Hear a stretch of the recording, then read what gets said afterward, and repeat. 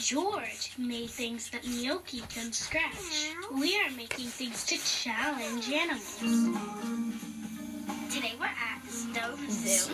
Well, our animals here, they're not as active as the animals in the wild. So we want them to use their brain and think about where they can find food. We're making enrichment toys. These toys challenge the zoo animals and get them thinking and moving. And we're making toys for the animals with food inside. We use paper, we use cardboard boxes, And then we put it out here. Look, he's going through my vat that I made. Whoa. Oh, hey. the bear just like, I need my food, I need my energy. He used his hands to grab it on and used his tongue and mouth and just smelled,